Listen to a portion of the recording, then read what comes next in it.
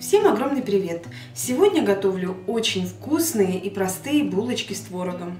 Когда хочется чего-то вкусненького, этот рецепт выручит всегда.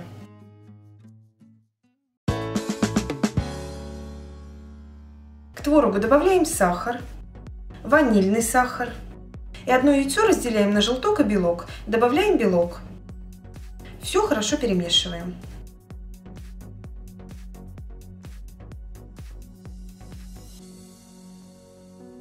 Слегка раскатываем тесто. У меня тесто покупное, слоеное, дрожжевое.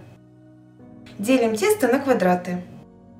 Делаем уголком надрезы. У нас получается два прорезанных угла, а два нет. И складываем тесто, как я показываю на видео.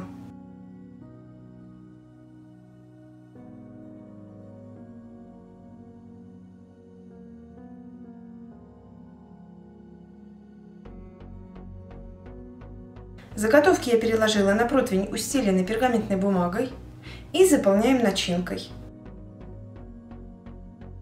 Нам осталось тесто смазать оставшимся желтком.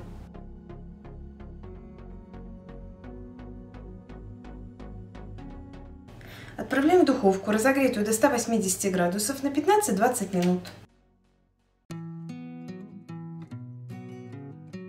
Из данного количества ингредиентов выходит 16 творожных булочек.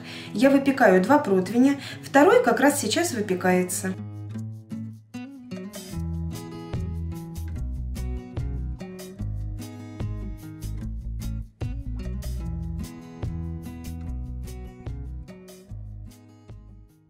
Как вы поняли, это просто и очень вкусно. Обязательно пробуйте, готовьте.